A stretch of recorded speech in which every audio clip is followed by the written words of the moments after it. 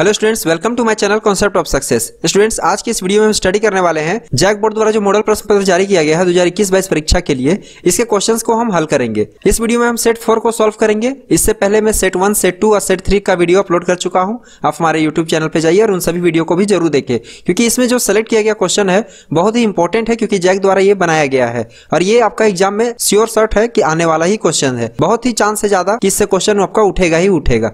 ठीक है? तो देखिए, और क्या है? ये क्लास टेंथ का है और सब्जेक्ट ये साइंस है और समय आपको डेढ़ घंटा दिया जाएगा इसमें और ये टोटल चालीस मार्क्स का है, ठीक है? सभी प्रश्न अनिवार्य है, कुल चालीस प्रश्न है इसमें, प्रत्येक के लिए एक अंक निर्धारित है, प्रत्येक प्रश्न के चार विकल्प दिए गए हैं। सही विकल्प का चयन करना है आपको और गलत उत्तर के लिए कोई भी अंक नहीं काटे जाएँगे, यानी कि नेगेटिव मार्किंग इसमें नहीं है, ठीक है? तो चलिए फटाफट से हम इसके क्वेश्चंस को सॉल्व करते हैं और ये बहुत ही इंपॉर्टेंट क्वेश्चन है, आप पक्का इसको पढ़ के जाइए, आपके एग्ज़ाम में क्वेश्चंस आएँगे ही आएँगे इससे, ठीक है? चलिए स्टार्ट करते हैं इस वीडियो को। चलिए, क्या है हमारा पहला क्वेश्चन यदि आपतित किरण और परावर्तित किरण के बीच 90 डिग्री का कोण बनता है तो परावर्तन कोण होगा। तो जैसा कि आपको पता होगा कि आपतन कोण बराबर होता है परावर्तन कोण के, ठीक है? तो आपतित किरण और परावर्तित किरण के बीच में बनता है आपका आपतन कोण और परावर्तन कोण, ठीक है? तो ये दोनों दो भाग में बढ़ जाएँगे। अगर ये 90 है तो आंसर कितना हो जाएगा आपका? 45 डिग्री। चलिए क्वेश्चन नंबर टू देखते हैं। ध्रुव और वक्रता केंद्र को मिलाने वाली रेखा को क्या कहते हैं? तो स्टूडेंट्स ध्रुव और वक्रता केंद्र को मिलाने वाली रेखा को क्या कहते हैं? मुख्य अक्ष। चलिए क्वेश्चन नंबर थ्री क्या कहता है? यदि एफ़ का मान 16 सेंटीमीटर है, तब आर का मान क्या होगा? तो देखिए एफ़ अगर आपका 16 है तो 16 का दुगना कितना हो जाता है? 32 तो आपका ये हो जाएगा 32 सेंटीमीटर यानी कि 32 सेंटीमीटर ठीक है? चलिए क्वेश्चन नंबर फोर देखते हैं। किसी अवतल दर्पण में वस्तु कहाँ रखा गया है या कहाँ रखा जाए, जिससे उसका सीधा और आवर्धित प्रतिबिंब बनेगा।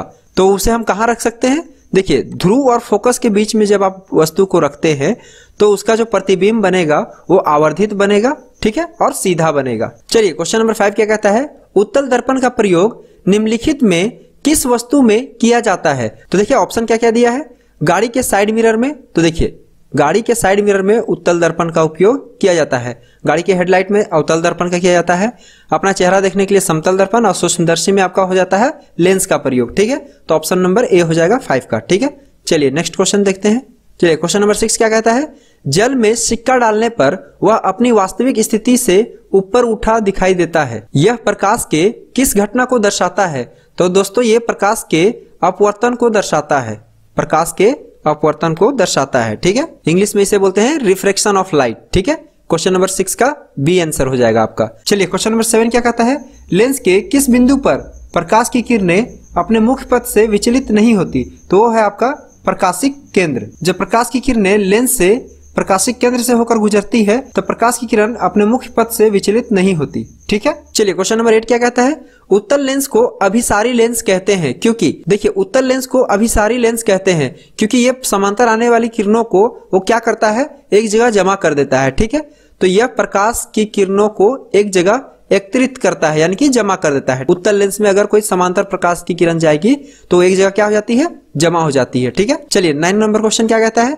नेत्र में जाने वाली प्रकाश की मात्रा का नियंत्रण कौन करता है? देखिए, नेत्र, यानी कि हमारी आँखों में जो प्रकाश की मात्रा जाती है, उसका नियंत्रण कौन करता है? तो वो है आपका पुतली। अगला सवाल देखते हैं। Question number ten. सामान्य नेत्र का निकट बिंदु क्या है? देखिए, सामान्य नेत्र का निकट बिंदु होता है 25 सेंटीमीटर। और यही आपका क्वेश्चन पूछेगा कि दूर बिंदु तो हो जाएगा आपका अनंत। चलिए, क्वेश्चन नंबर इलेवन क्या कहता है? मानव नेत्र में प्रतिबिंब की प्रकृति क्या होती है? या फिर कैसी होती है? ठीक है? तो होता है आपका उल्टा और वास्तविक, ठीक है? हमारी आँखों में जो इमेज का जो प्रकृति होता है, यानी कि नेचर होता है, वो कैसा होता है? उल्टा और वास्तविक, यानी कि इन्वर्टेड और रियल ठीक है? चलिए क्वेश्चन नंबर ट्वेल्व क्या कहता है? जरा दूरदृष्टा होने का क्या कारण है? तो जरा दूरदृष्टा होने का क्या कारण होता है? वो है आपका समंजन क्षमता घट जाना। ठीक है? जब किसी व्यक्ति के आँख का समंजन क्षमता घट जाता है तो उसे क्या हो जाता है? जरा दूर दृष्टता। चलिए क्वेश्चन नंबर थर्टीन क्या कहता है? अभिनेत्र लेंस की क्षमता, जिसके कारण वह अपने फोकस दूरी को समायोजित कर लेता है, क्या कहलाता है? तो यह कहलाएगा आपका समंजन। समंजन या समंजन क्षमता हमारी आँखों की फोकस को कंट्रोल करता है, ठीक है? नेक्स्ट क्वेश्चन है हमारा फोर्टीन निम्नलिखित में कौन सी रासायनिक अभिक्रिया संतुलित है? तो हमें चेक करना है कि इनमें से कौन सी अभिक्रिया संतुलित है। ठीक है? तो चलिए फटाफट से चेक करते हैं। पहले भी ये सवाल आ चुका है संतुलित करने वाला। ठीक है? ये क्वेश्चन सिर्फ़ चेंज होता है, लेकिन संतुलित करने का, यानी कि बैलेंस करने का जो कॉन्सेप्ट होता है, वो सेम रहता है। ठीक है? देखिए, हम काउंट करेंगे एलएचएस साइड में और आरएचएस साइड में परमाणुओं की संख्या। ठीक है? तो देखिए, इधर एक फेरस है, इधर आपका तीन फेरस है। यानी कि ये तो गलत हो जाएगा। चलिए ऑप्शन बी में क्या दिया है? थ्री फेरस है तो इधर देखिए थ्री फेरस ठीक है? हाइड्रोजन यहाँ दो है, इधर देखिए हाइड्रोजन चार दूनी आठ है, ठीक है? तो ये गलत हो गया। चलिए ऑप्शन सी क्या दिया है? थ्री फेरस इधर है थ्री फेरस इधर भी है।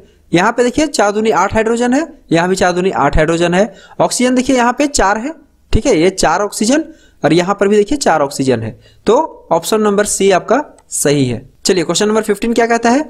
दिए गए समीकरण में किस पदार्थ का उपचयन तथा अपचयन हो रहा है? तो देखिए, यहाँ पे एक रिएक्शन दिया हुआ है।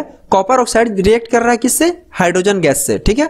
और ये क्या बना रहा है? देखिए कॉपर अलग हो जा रहा है यहाँ से ऑक्साइड इससे निकल जा रहा है और ये ऑक्सीजन जुड़ जा रहा है किसके साथ? हाइड्रोजन के साथ। तो हम जानते हैं कि उपचयन में ऑक्सीजन जुड़ता है और अपचयन में ऑक्सीजन टूटता है, ठीक है? तो यहाँ पर देखिए हाइड्रोजन में ऑक्सीजन जुटा और क्या बना दिया? वाटर यानी कि हाइड्रोजन में ऑक्सीजन जुट रहा है।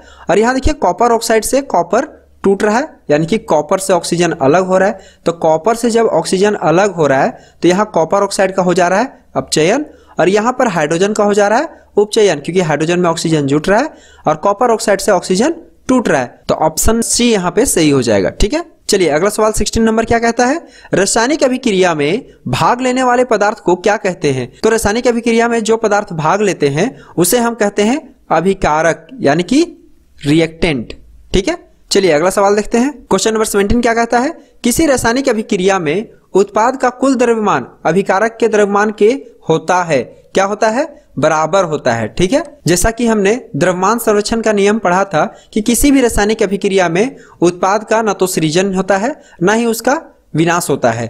तो कुल द्रव्यमान जो होता है, अभिक्रिया के पहले और अभिक्रिया के बाद बराबर होता है। ठीक है? तो क्वेश्चन नंबर सेवेंटीन का आंसर हो जाएगा आपका ए चलिए क्वेश्चन नंबर एटीन क्या कहता है? देखिए देखिए, यहाँ पे मिथेन है सी एच फोर को हम मिथेन पढ़ते हैं। मिथेन को जब ऑक्सीजन की उपस्थिति में जलाया जाता है तो क्या क्या बना रहा है? कार्बन डाइऑक्साइड, वाटर और ऊर्जा, ठीक है? तो यह किस प्रकार की अभिक्रिया है? तो देखिए, यहाँ पे ऊर्जा बना रहा है तो यह हो जाएगा आपका उष्मा छेपी अभिक्रिया, ठीक है?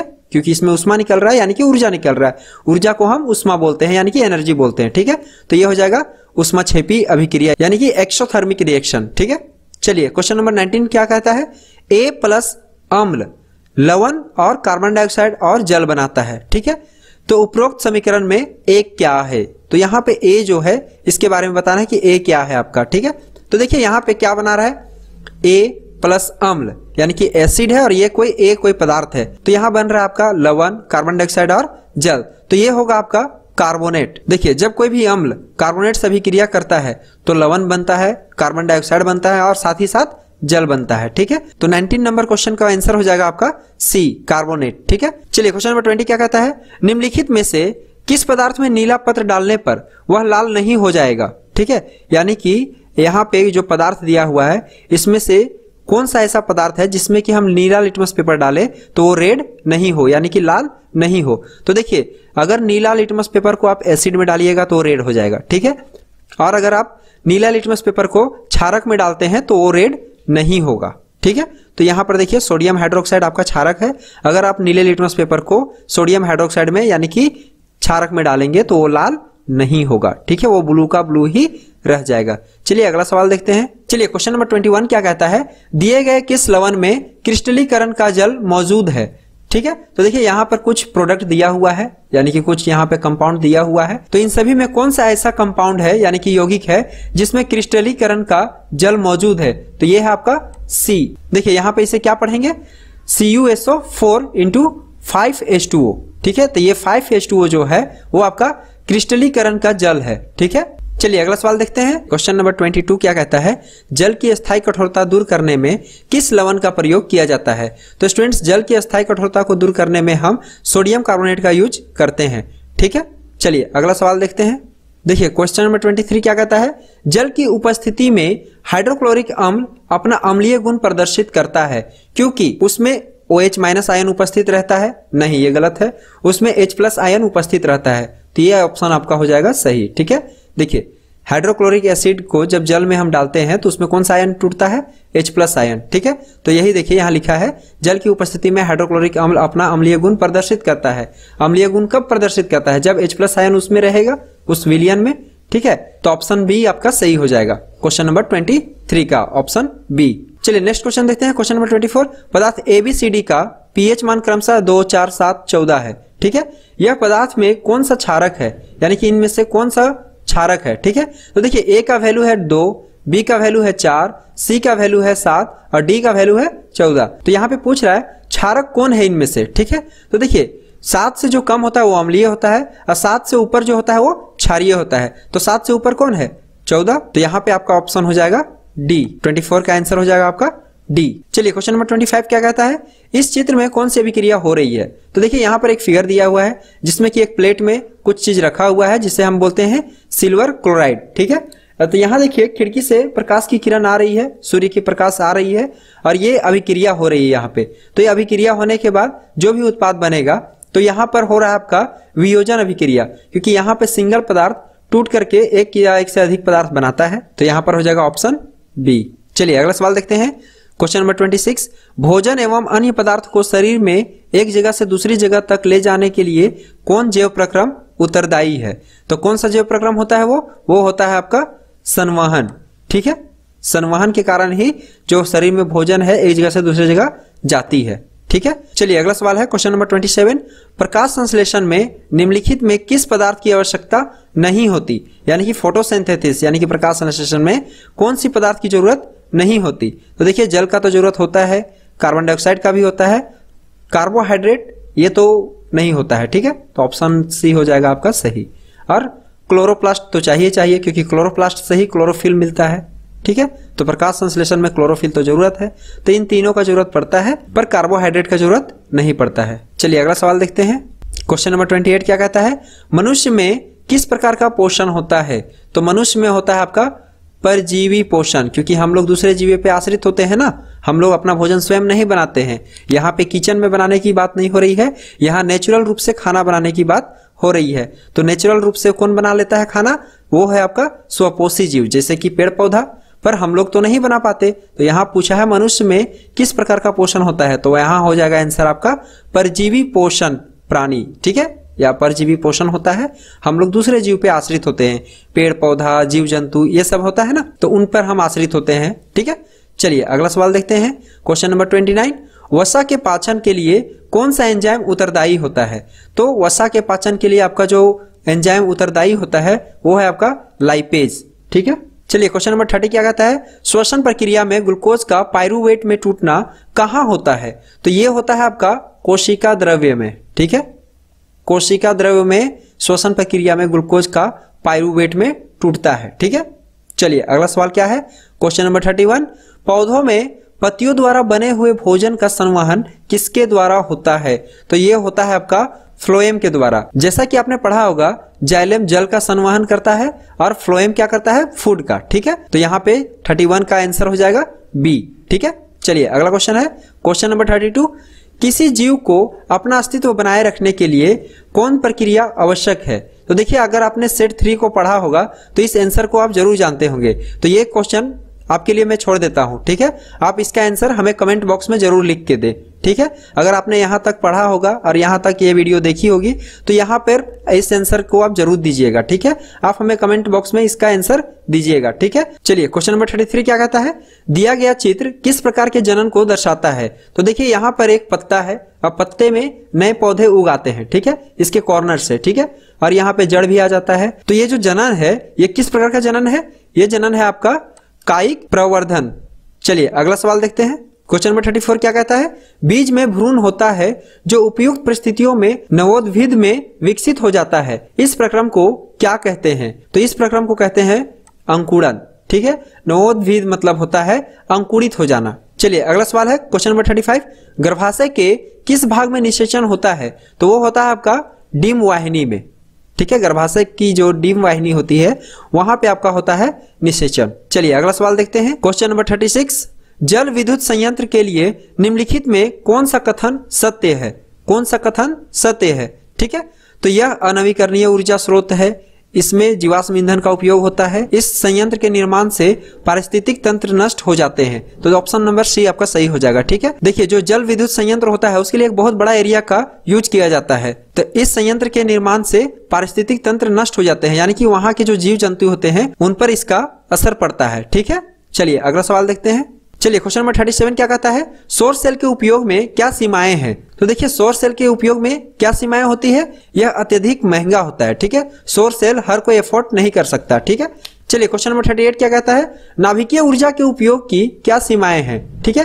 तो नाभिकीय ऊर्जा के उपयोग की सीमाएँ पूछ रहा है। तो यहाँ पे हो जाएगा आपका ऑप्शन डी नाभिकीय अपशिष्ट का भंडारण में समस्या उत्पन्न होती है, ठीक है? तो यह हो जाएगा आपका थर्टी एट का डी चलिए क्वेश्चन नंबर थर्टी नाइन क्या कहता है? निम्नलिखित में कौन ऊर्जा स्रोत का उपयोग करना पर्यावरण के लिए सबसे अधिक अच्छा है? मतलब यहाँ पे ऊर्जा के कुछ स्रोत दिए हुए हैं, ठीक है? तो आपको बताना है कि इनमें से किसका इस्तेमाल जब हम करेंगे तो पर्यावरण के लिए वो स्वच्छ होगा, यानी कि अच्छा होगा, ठीक है? तो देखिए, लकड़ी में तो पॉल्यूशन ज़्यादा है, कोयले में भी पॉल्यूशन ज़्यादा है सीएनजी ये बहुत कम पॉल्यूशन देता है, और एलपीजी भी कम पॉल्यूशन देता है, ठीक है? तो ऑप्शन आपका सी हो जाएगा यहाँ पे, ठीक है? सीएनजी ठीक है? चलिए क्वेश्चन नंबर फोर्टी क्या कहता है? निम्नलिखित में किस विद्युत संयंत्र में जीवाश्म ईंधन का प्रयोग होता है? तो वो होता है आपका तापीय विद्युत संयंत्र में, ठीक है? तापीय विद्युत संयंत्र में जीवाश्म ईंधन का प्रयोग होता है। तो स्टूडेंट्स इस वीडियो में हमने 40 के 40 क्वेश्चंस को डील कर दिए हैं और एक क्वेश्चन आपके लिए छोड़ा हूँ मैं, ठीक है? उसका आंसर आप कमेंट में हमें ज़रूर दीजिएगा। हमें आपके कमेंट का इंतज़ार रहेगा और उम्मीद करता हूँ कि आपको ये वीडियो समझ में आ गई होगी। अगर वीडियो आपको अच्छी लगी हो तो वीडियो को लाइक करे, चैनल को सब्सक्राइब कर ले और बेल आइकन को प्रेस कर ले हमारी वीडियो की नोटिफिकेशन सबसे पहले पाने के लिए। अगर ये वीडियो आपको एजुकेशनल पर्पज से अच्छी लगी हो तो इस वीडियो को ज़्यादा से ज़्यादा शेयर करें। आप इसे अपने फैमिली मेंबर्स के साथ शेयर कर सकते हैं, अपने छोटे भाई बहन के साथ शेयर कर सकते हैं और फ्रेंड के साथ भी शेयर कर सकते हैं, ठीक है? और स्टूडेंट्स एक बात का ध्यान रखिए कि इन सभी सेट का तैयारी करना आप लोगों के लिए बहुत ही इंपॉर्टेंट है, क्योंकि एग्ज़ाम में इससे क्वेश्चंस आएगा ही आएगा, ठीक है? हमारे साथ जुड़े रहने के लिए धन्यवाद। मिलते हैं आपसे अगली वीडियो में।